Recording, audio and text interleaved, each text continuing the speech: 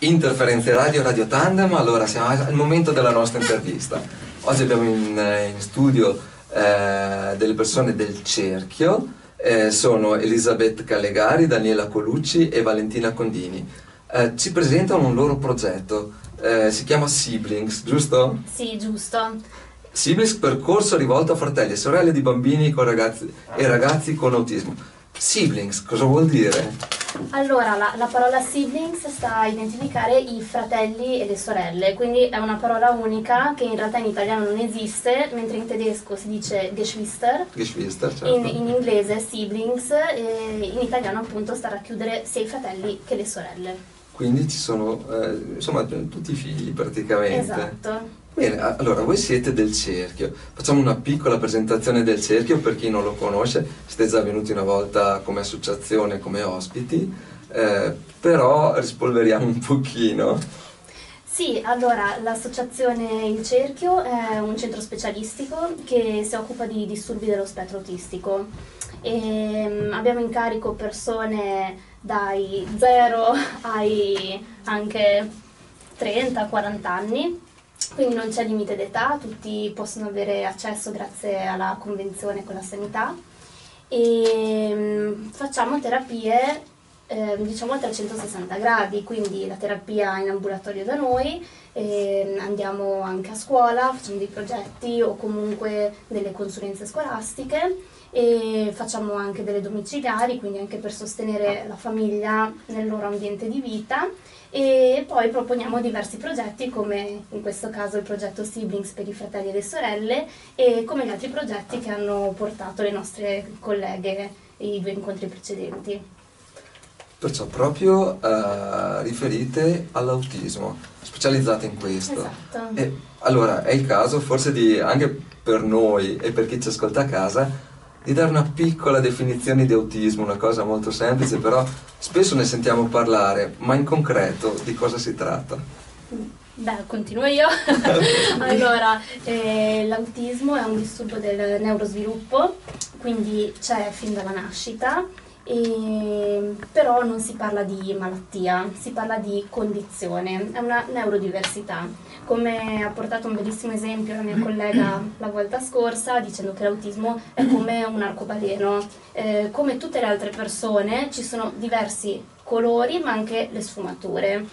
E, diciamo che ciò che accomuna le persone con l'autismo eh, sono le difficoltà soprattutto per quanto riguarda le interazioni sociali e la comunicazione e gli interessi ristretti, le stereotipie. Quindi questo è un po' il quadro che li racchiude, però come tutte le altre persone hanno poi delle, delle differenze, mm, delle caratteristiche che, che, li rendono tutti unici. Come tutte le persone esatto. alla fine. Esatto. Um, allora, avete già detto che parliamo dei fratelli, in questo caso uh, dei, dei, bambini o ragazzi che soffrono di autismo. Già questo mi ha colpito perché è difficile trovare un progetto non rivolto direttamente al protagonista, ma a quelli che sono comunque protagonisti, ma tante volte vengono anche un po' non sottovalutati, però eh, viene dato per scontato che stiano bene, che funzionino bene e che diano tutto il supporto necessario. In questo caso invece voi vi siete accorti che c'è bisogno eh, di un qualcosa anche per loro. Um, in particolare, cosa vivono i ragazzi che soffrono, cioè i ragazzi, i fratelli di chi soffre di un disturbo autistico? Allora, eh, non si può dare una definizione unica, una risposta unica perché ogni fratello eh, vive la sua particolare esperienza. Eh, ci sono diverse variabili che possono influire sul modo in cui la persona, il fratello, il siblings in, in questo caso, um, può rispondere um, rispetto proprio alla relazione con, con, il fratello. Ci sono variabili personali, per esempio il carattere, eh, il proprio carattere, le proprie risorse personali, la propria resilienza, l'età, Uh, ci sono aspetti che riguardano la famiglia, quindi per esempio lo stile genitoriale o come i diversi membri della famiglia hanno in qualche modo elaborato e come hanno reagito anche alla disabilità. Uh, ci sono aspetti che riguardano anche il contesto sociale, per esempio mh, uh, anche la comunità, diciamo in qualche modo qual è, qual è, la cultura della comunità rispetto alla disabilità e quanto questa possa sostenere anche appunto la famiglia eh, eh, con, uh, la famiglia che ha, al proprio interno ha una persona con, con, autismo, dipende anche dalle caratteristiche del fratello, qual è il suo funzionamento, quali sono i suoi eh, diciamo, comportamenti, il suo, la sua grado di autonomia e in qualche modo anche dalla particolare alchimia tra i due fratelli, insomma, no? qual è la qualità del rapporto eh, tra loro. Quali sono le emozioni che, che, che, voi vedete nella vostra esperienza dei fratelli? Nel senso di come la vivono questa situazione, um, che si, sensibilità anche si mm-hmm. sviluppano? Allora, eh, ovviamente come abbiamo detto poi è un'esperienza unica, sicuramente eh, ci sono degli, dei temi che abbiamo visto nella nostra, insomma anche se breve esperienza ritornare, ehm, da una parte ci sono uh, delle emozioni, diciamo, o sensazioni uh, che possono essere apparentemente negative, no? Quindi per esempio l'imbarazzo, uh, può succedere che um, in qualche modo il fratello esponga la famiglia o a delle situazioni di disagio, no?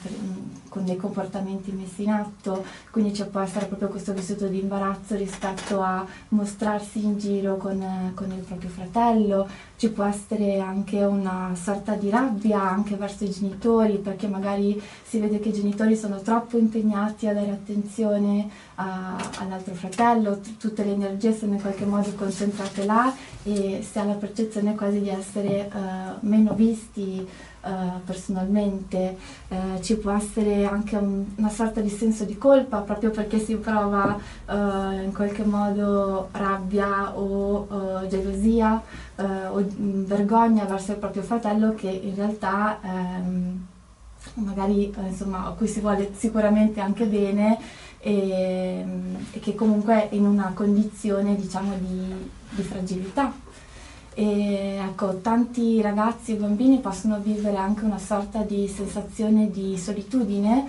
perché non sempre riescono anche ad avere una rete amicale eh, capace di in qualche modo accettare anche il... Questo anche i fratelli? Sì. Ok, che anche sì. i fratelli vengono praticamente un po' esclusi perché tutto è concentrato sul, sul ragazzino che ha problemi e, e, a suo modo anche loro vengono assorbiti da questa situazione sì. e gli altri bambini li evitano. Può succedere magari che non so, la, la mh, difficoltà di invitare gli amichetti a casa okay. perché magari insomma, il fratello quel giorno non sta bene o perché temono che magari possa metterli in una eh, situazione di per esempio imbarazzo.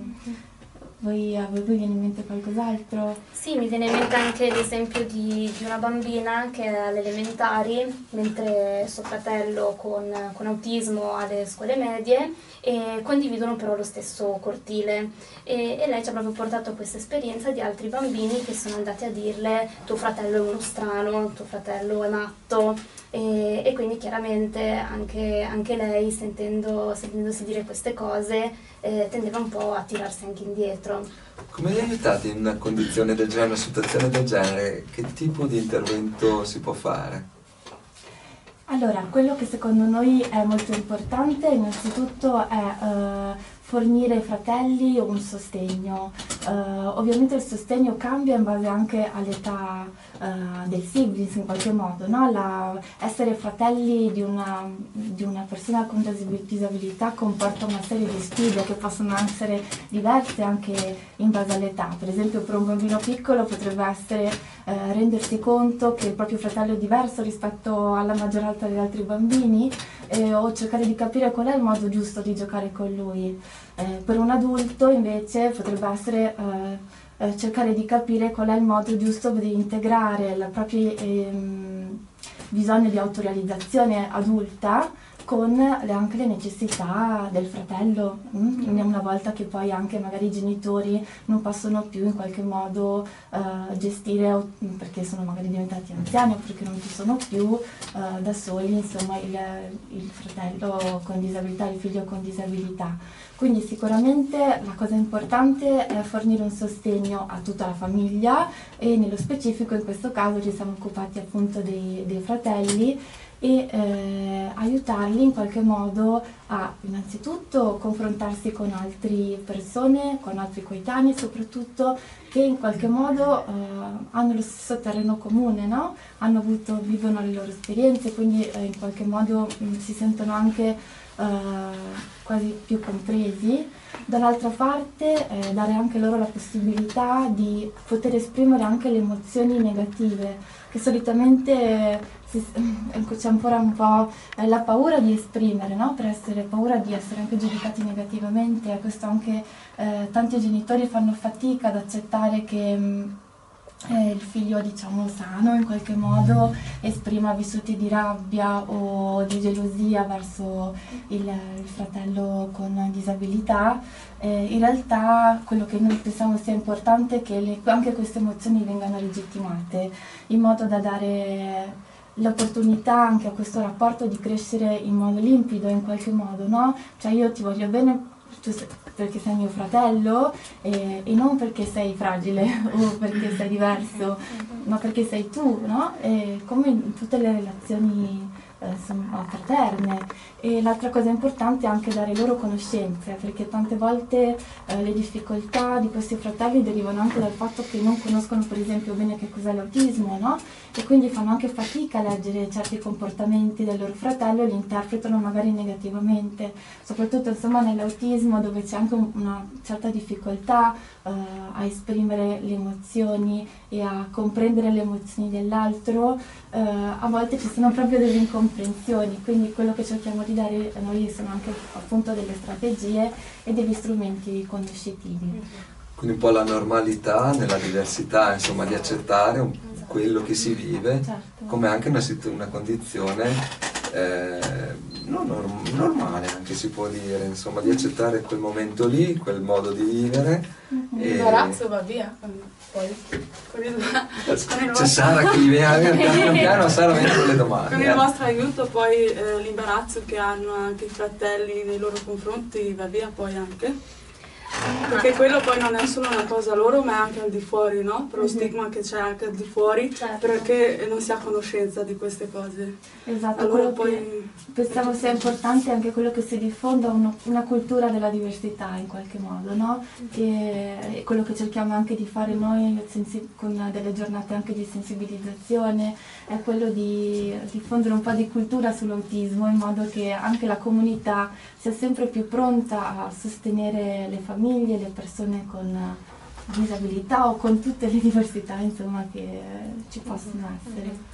Sì, comunque appunto eh, da fratello a fratello poi cambia, da alcuni, soprattutto crescendo, maturando, questo senso di imbarazzo piano piano magari può andare via, da altri permane, ma come diceva Daniela, già il fatto di essere più informati, di sapere di cosa si tratta e magari del perché il fratello o la sorella mettono in atto certi comportamenti che possono a volte sembrare bizzarri, già il sapere il motivo magari aiuta anche a, viene a comprenderlo. Certo. Bene, bene. Allora, facciamo una piccola pausa musicale, intanto vi ringraziamo già da ora per le, le prime insomma, delucidazioni sull'argomento e vi aspettiamo dopo il brano musicale ancora interferenze in radio, Radio Tandem.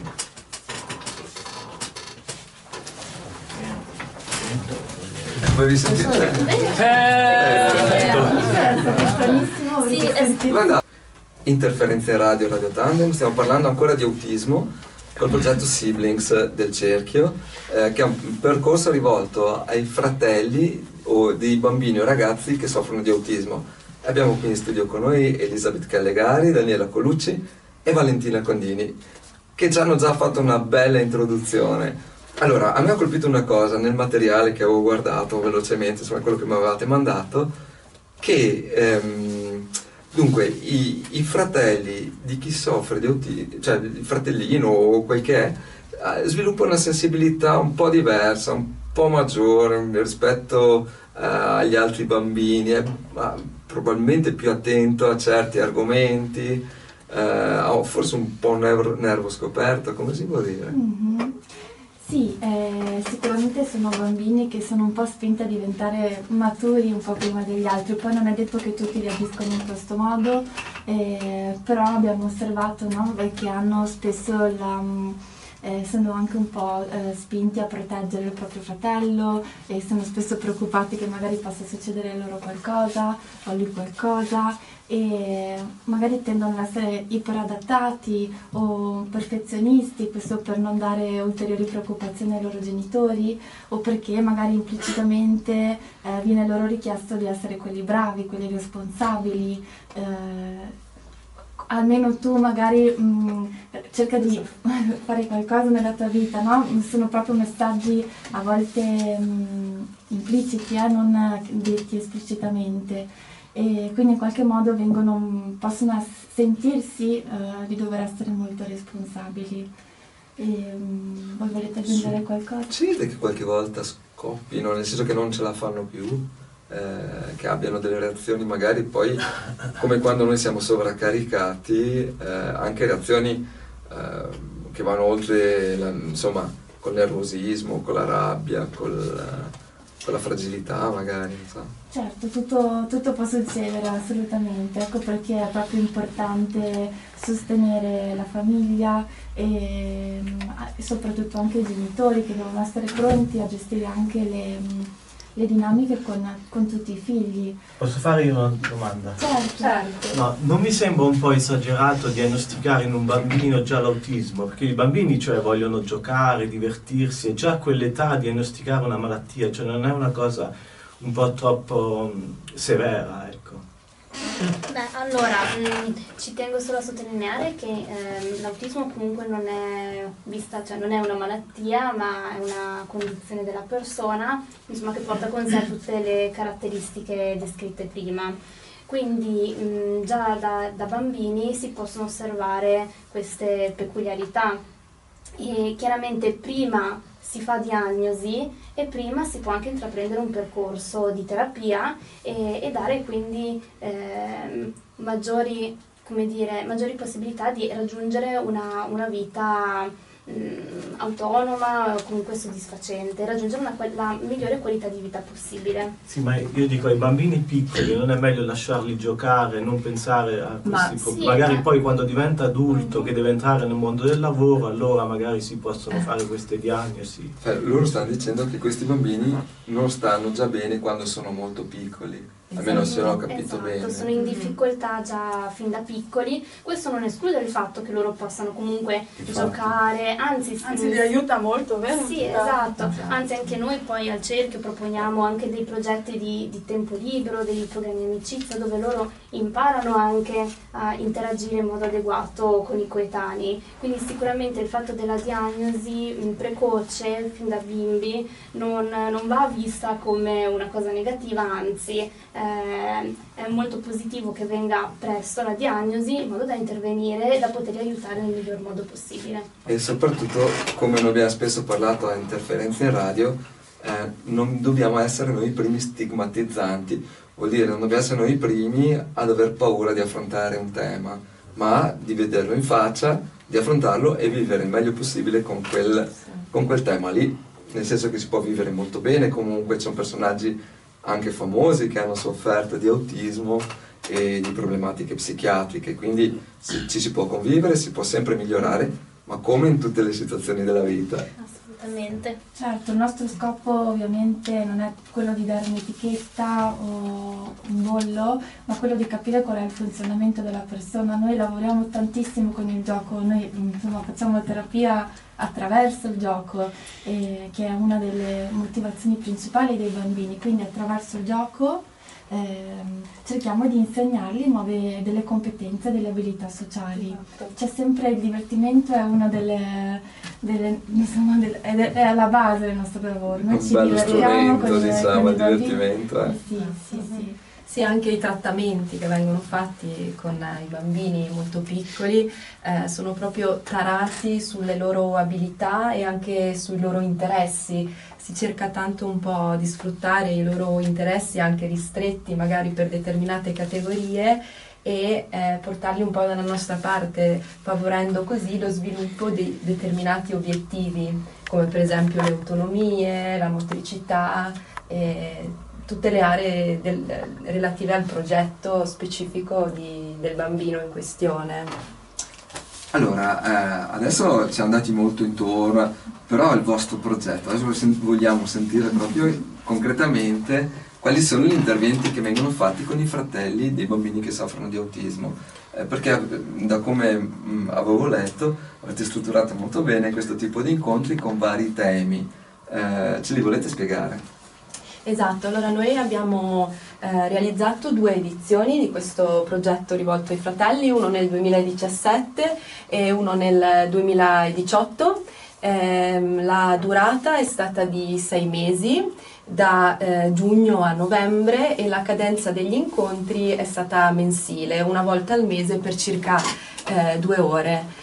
E, ehm, dato eh, la buona adesione dei, dei, fratelli abbiamo deciso di eh, suddividerli in due gruppi a seconda della fascia di età eh, abbiamo creato un gruppo di fratelli che abbiamo chiamato più piccoli, eh, cioè di bambini in età scolare che vanno dai eh, 7 ai 9 anni e un gruppo invece di eh, adulti o giovani adulti dai 20 ai 26 eh, anni. E in questo progetto abbiamo anche appositamente voluto coinvolgere anche i genitori.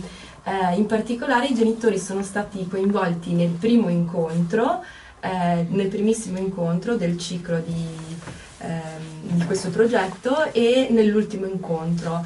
Eh, proprio per favorire anche uno spazio di condivisione e riflessioni dei genitori relativamente ai bisogni, ai desideri e alle aspettative del proprio figlio a sviluppo tipico.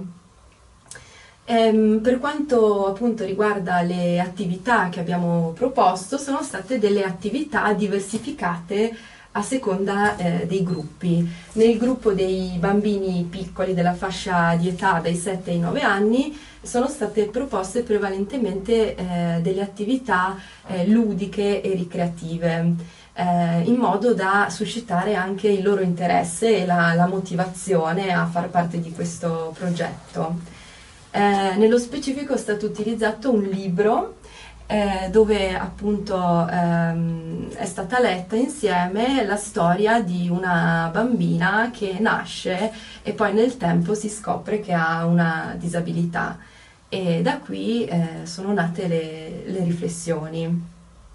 Eh, per quanto riguarda invece il gruppo dei grandi, dei giovani adulti, quindi una fascia di età eh, più, più, in là, che va appunto dai 20 ai 26 anni, abbiamo preso spunto eh, da dei film e da delle serie televisive. Una serie televisiva che abbiamo utilizzato e che è stata molto utile è stata questa serie che si chiama Atypical, non so se la conoscete. No, ma se ce la, raccon- cioè, ce la descrivo un attimo. Sì, è una serie molto eh, bella che vi consiglio ehm, si trova su Netflix e parla di un ragazzino adolescente ad alto funzionamento, quella che una volta si chiamava la sindrome di Asperger e ci sono diversi episodi eh, dove ehm, si vedono proprio le sue caratteristiche, un po' i suoi punti di forza, ma anche le sue debolezze nella quotidianità. Eh, quindi si vedono mm, per esempio le difficoltà di comunicazione, di relazione che ha eh, con la sua prima fidanzatina, eh, le difficoltà che ha a stare nel gruppo della classe. Ehm, dall'altra parte si vedono anche un po' quelli che sono i suoi punti di forza. Eh, per esempio questo ragazzo ha un interesse eh, molto particolare, ristretto, approfondito per le scienze e quindi si vede come lui nel suo tempo libero studia eh, tantissimo attraverso internet, eh, fa delle ricerche sugli animali, in particolare sui pinguini che gli piacciono tanto. Ecco, ve lo consiglio quando avete Grazie del tempo. consiglio. Sì, è molto interessante perché non solo eh, si capisce qual è il funzionamento del ragazzo, del protagonista, ma emergono anche le dinamiche familiari. Lui ha una sorella, quindi insomma si vede quali sono anche eh, le relaz- la Esatto. relazione con la sorella, le problematiche, ma anche le risorse, i vissuti della sorella e anche come mh, le- l'intero sistema familiare in qualche modo ehm, deve adattarsi continuamente a- alle esigenze di entrambi i figli Esatto. e può essere anche un po' scombussolato insomma in, Esatto. questo, in questo percorso. Quindi la consigliamo tantissimo a chi Sì, vuole sì. un po' Eh, ce, la, ce la dell'autismo. segniamo, che magari Sì, può servire anche a noi in qualche momento anche di guardarla insieme, insomma, possiamo guardarla, commentarla, vedere un poi po'. è divertente. È eh, molto divertente, Ok. sì, sì, sì, da ridere. Esatto. Benissimo. Ehm, I vostri incontri che fate con i fratelli so- hanno un numero specifico oppure ehm, sono 4, 5, 10, come eh, sono strutturati in qualche modo? Sì, Fisso? noi avevamo eh, pensato fino dall'inizio, da quando avevamo creato questo progetto, di strutturare ehm, questo progetto in sei mesi di tempo. Mhm. Ehm, in realtà una volta che eh, è terminato, è stato terminato al termine di questi sei mesi, ehm, i genitori ma anche i bambini eh, stessi o i ragazzi eh, ci hanno tutti un po' manifestato la volontà di eh, continuare questo percorso, nel senso che si sono creati due gruppi molto affiatati, sia nei piccolini eh, che nei grandi.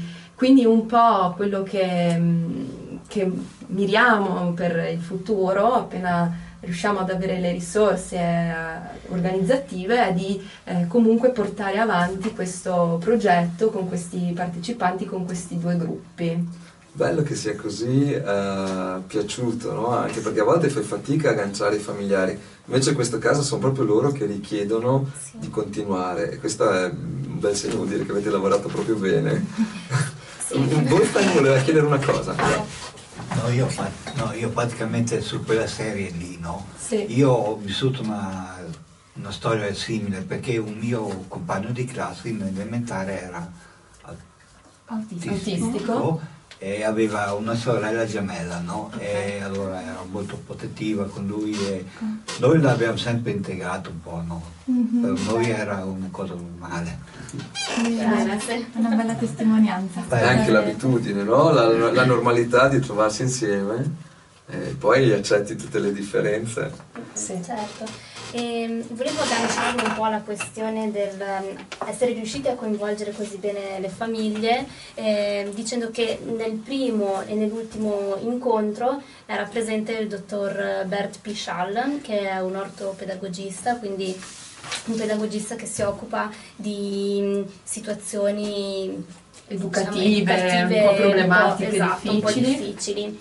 E, mm, lui è specializzato proprio in autismo e lui stesso è fratello di due ragazzi con autismo. E quindi il fatto che lui abbia portato la sua testimonianza diretta alle famiglie ha sicuramente, sicuramente coinvolto maggiormente eh, genitori. Chiaramente diverso è se noi, eh, se noi facciamo una presentazione sui fratelli senza essere direttamente coinvolte, ha una valenza diversa, mentre lui è stato fondamentale mh, per, per partire con questo progetto e ci ha anche supervisionate via via perché lui già da tanto che fa questo tipo di percorsi con i fratelli e le sorelle. Quindi proprio un'esperienza diretta, poi studiata attraverso la scienza, riportata a voi, meglio di così. Esatto. No, no, benissimo. Allora, ma magari forse un'ultima domanda, eh, l'abbiamo già affrontato, però ehm, la normalità di, di esprimere le proprie emozioni, di arrabbiarsi, di vergognarsi, m- ma senza vergognarsi poi alla fine di provare queste emozioni, eh, come la vedete? O come, come si può dare anche un messaggio agli ascoltatori che magari eh, vivono anche di situazioni del genere, ma non hanno il coraggio o si nascondono o minimizzano, perché tante volte si dice no, sono gli altri che dicono che è strano, non è, eh, siamo- insomma stiamo bene così, però alla fine un problema viene coperto dalla sabbia. Cosa si può dire? Beh, allora sicuramente uno dei nostri obiettivi principali è dare questo messaggio sia alle famiglie che ai siblings eh, ovvero che anche le emozioni negative ehm, bisogna esprimerle, non bisogna tenersele dentro e che è normale anche, come in una qualsiasi altra famiglia, arrabbiarsi col fratello, vergognarsi. In, in quante famiglie il fratello maggiore si vergogna quando c'è il fratellino piccolo e vengono gli amici a casa? Fa comunque parte della normalità della vita di, di tutte le persone. E quindi appunto un messaggio che noi vogliamo eh, trasmettere alle famiglie è che è giusto anche esprimere queste emozioni negative, naturalmente in modo adeguato, senza, certo. senza esagerare, e, e, anche far capire ai ragazzi che loro, eh, è un loro diritto a esprimerle e anche parlarne con i genitori. Allo stesso tempo dire ai genitori Mm, che anche far notare che anche i loro figli diciamo, neurotipici provano queste emozioni e, e, di essere accoglienti in questo, di, di ascoltarli. Mm, io spesso consiglio di, di, trovare magari durante la settimana anche solo un'ora dedicata al figlio eh, neurotipico. Questo è il tuo momento di ascolto, tu qui mi puoi dire tutto quello eh, che ti passa per la testa, tutti i tuoi problemi, le tue difficoltà, io sono qui per te, anche se sono consapevole del fatto che tuo fratello o tua sorella eh, richiedono più energie e più attenzione da parte mia. Questo sicuramente è un, un messaggio importante da dare dare importanza e dare uh, forza a tutti. Bene, allora purtroppo il tempo stringe e staremo qua a parlare per tutto il pomeriggio, ma dobbiamo concludere l'intervista. Vi ringraziamo veramente di, essere, di cuore per essere state qui con noi e vi invitiamo magari per un'altra, un'altra puntata, magari continuando magari a portare qualche esperienza, qualche qualche vostro vissuto anche. Grazie. Grazie a voi. Vi ringraziamo veramente tanto e alla prossima. Grazie.